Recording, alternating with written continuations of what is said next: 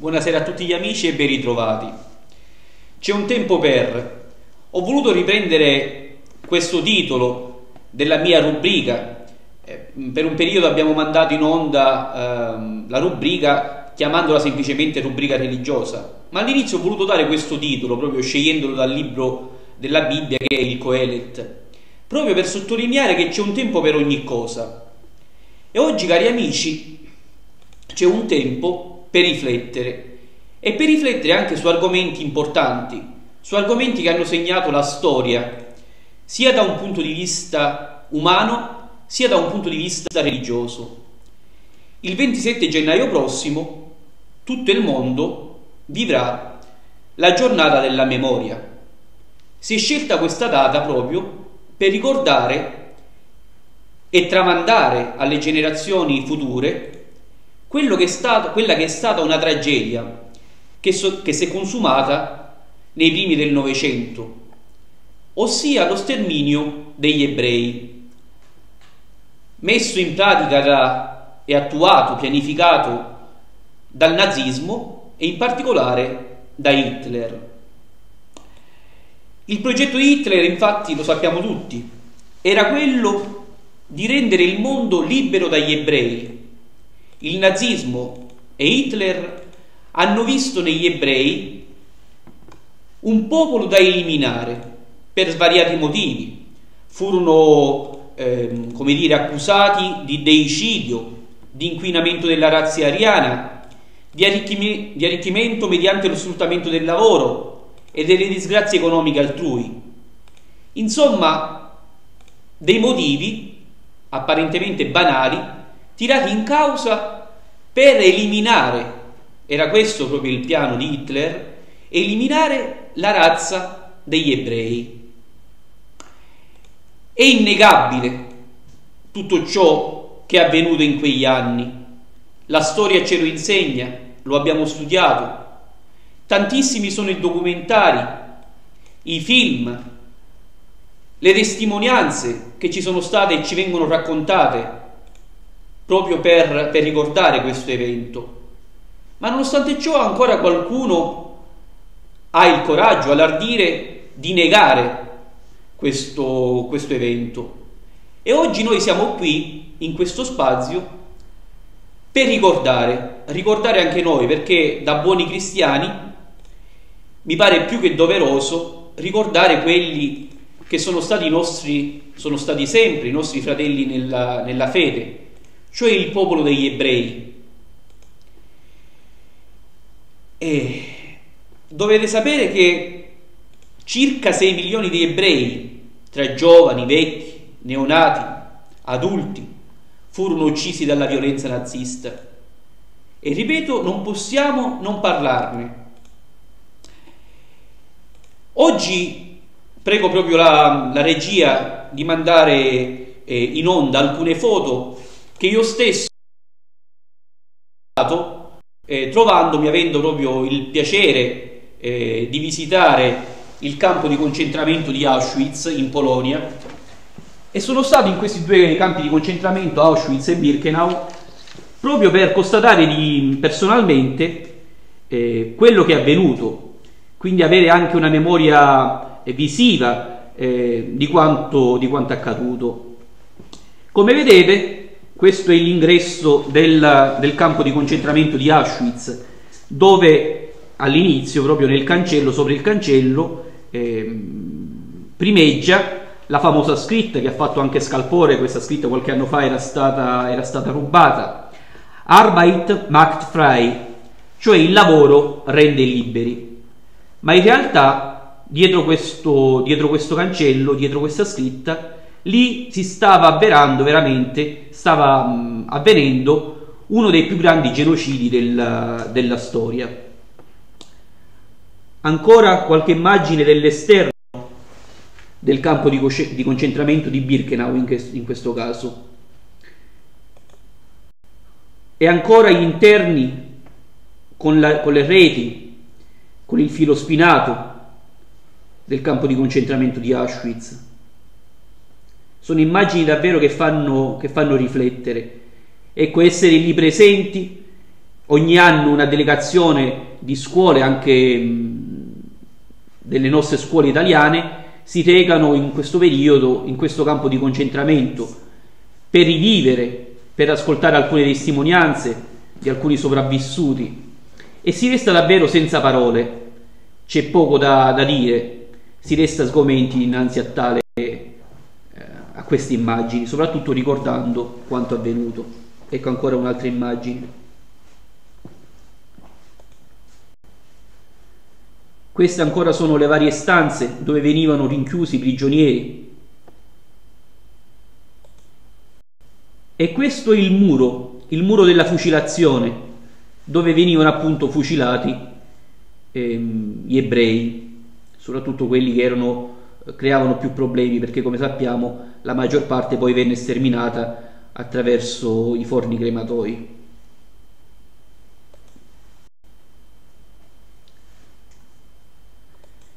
E questa che fa impressione davvero sono le, mh, alcuni contenitori che contenevano appunto il gas col quale venivano fatte le famose, le famose docce, cioè venivano inoculati questi gas e, e le povere, quelle povere persone eh, ovviamente morivano, stordivano quantomeno. Questi sono alcuni resti dei forni, dei forni crematori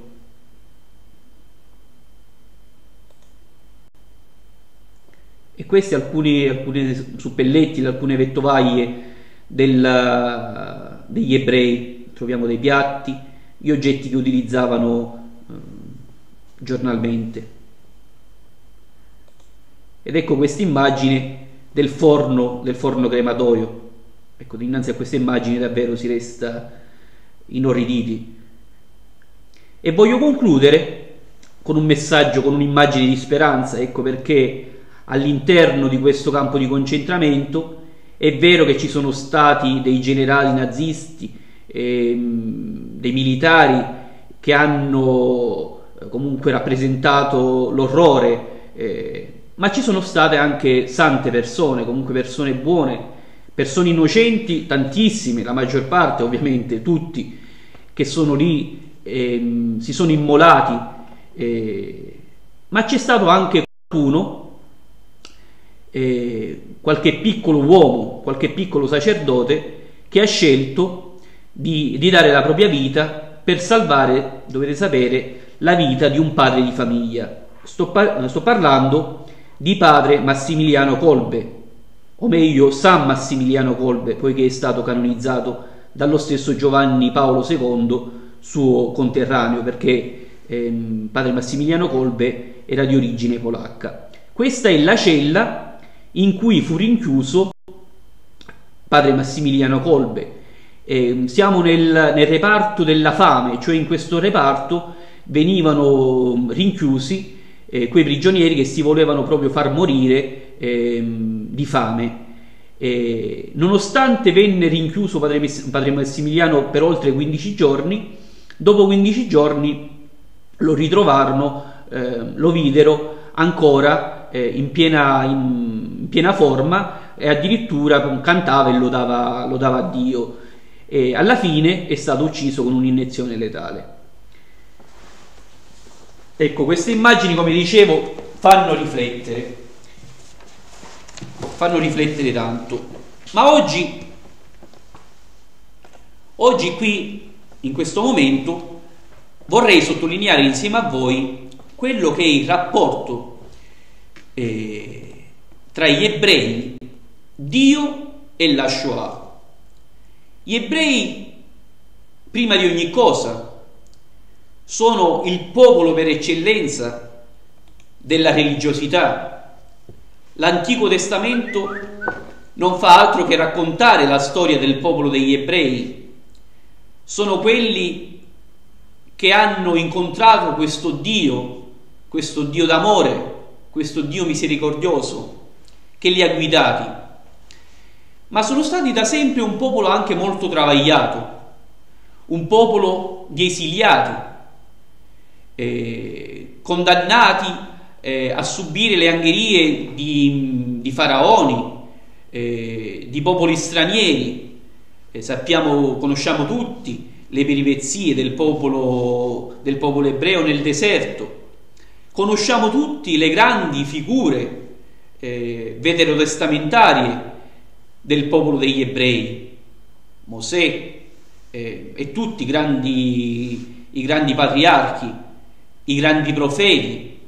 Ecco, tutto ciò che è raccontato nel, nell'Antico Testamento sa di storia di religiosità ebrea.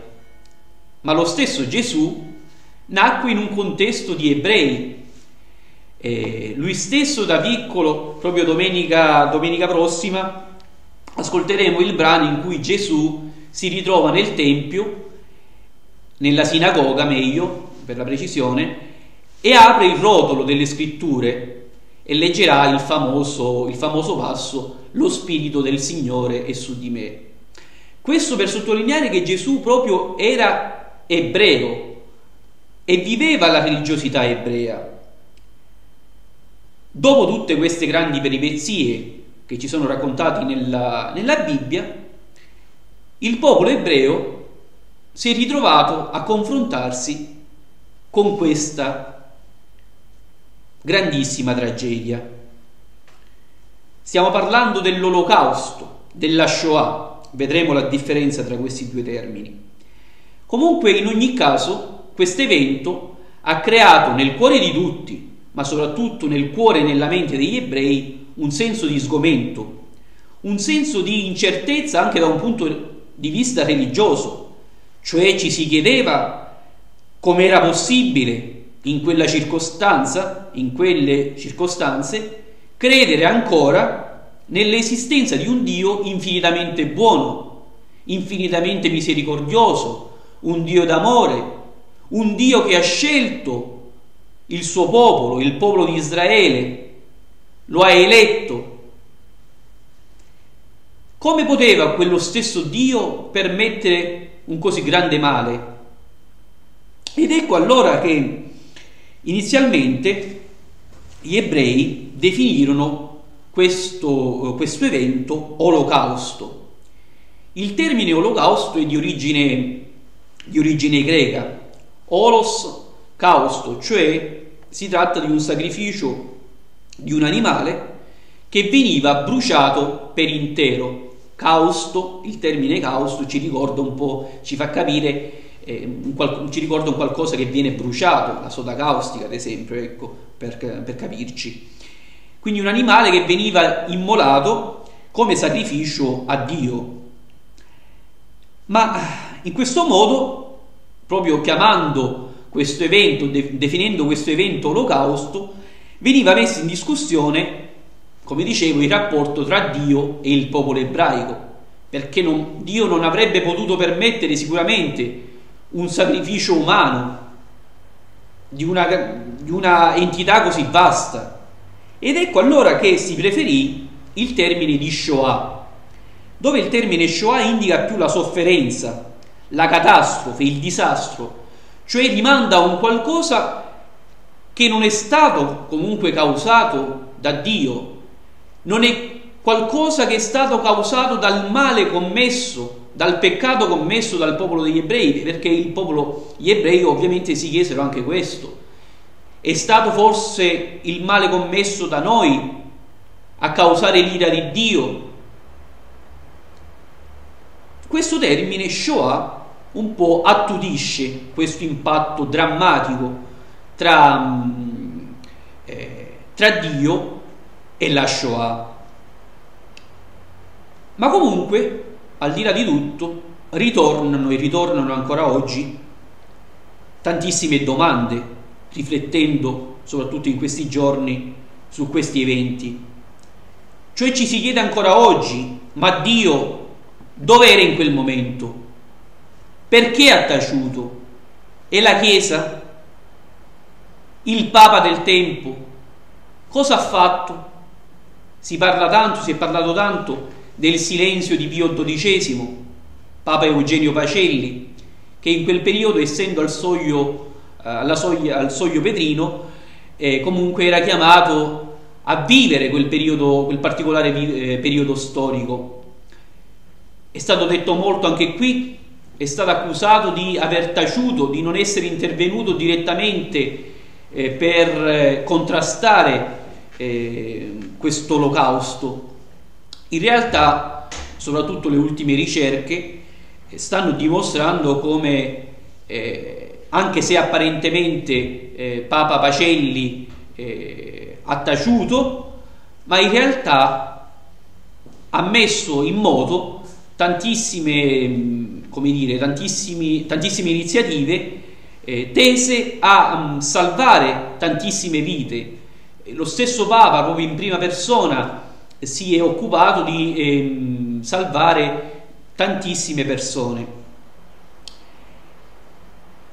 Ma comunque anche, anche nella Chiesa questo evento eh, ha creato sgomento. Ho voluto e vorrei leggere proprio eh, un breve stralcio del discorso pronunciato da Papa Benedetto XVI, attenzione, badate bene, un Papa tedesco, nel campo di concentramento e di sterminio di Auschwitz-Birkenau, allorquando lo stesso Papa si recò a visitare questo campo di concentramento il 28 maggio del 2006. Ascoltate con attenzione cosa dice il Papa. Prendere la parola in questo luogo di, di orrore, di accumulo di crimini contro Dio e contro l'uomo che non ha confronti nella storia è quasi impossibile ed è particolarmente difficile e opprimente per un cristiano, per un papa che proviene dalla Germania. In un luogo come questo vengono meno le parole. In fondo può si può restare soltanto uno sbigottito silenzio, un silenzio che è un interiore grido verso Dio. Perché, Signore, hai taciuto? Perché hai potuto tollerare tutto questo? È in questo atteggiamento di silenzio che ci inchiniamo profondamente nel nostro intimo, davanti all'innumerevole schiera di coloro che qui hanno sofferto e sono stati messi a morte. Questo silenzio, tuttavia, diventa poi domanda ad alta voce di perdono e di riconciliazione. Un grido al Dio vivente di non permettere mai più una simile cosa. Quante domande ci si impongono in questo luogo. Sempre di nuovo emerge la domanda, dove era Dio in quei giorni? Perché egli ha taciuto? Come poté tollerare questo eccesso di distruzione, questo trionfo del male? Ci vengono in mente le parole del Salmo 44, il lamento di Israele sofferente. Tu ci hai abbattuti in un luogo di sciacalli e ci hai avvolti di ombre tenebrose.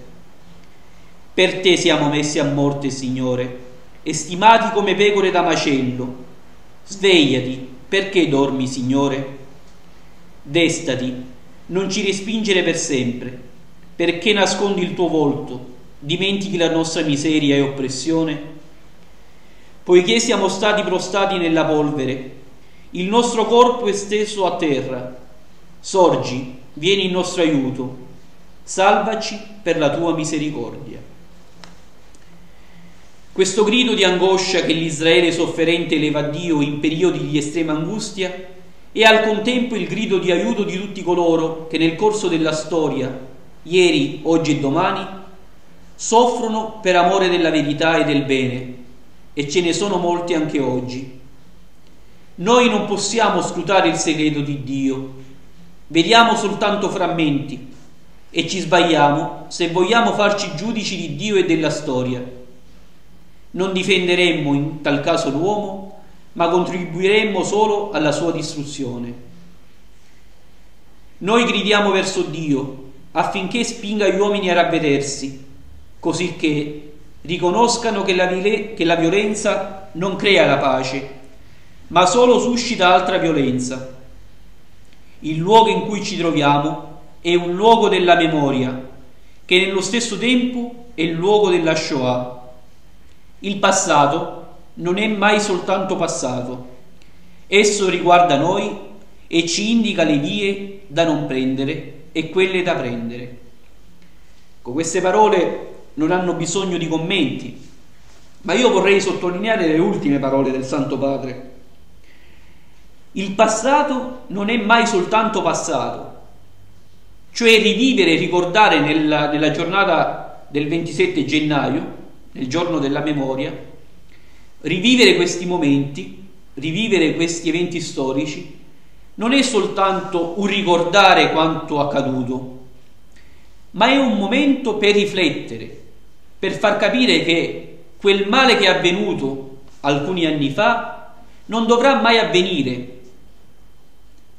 Perché purtroppo la storia eh, ci ha insegnato e ci insegna che alcuni eventi tragici e drammatici si sono ripetuti nel corso del tempo.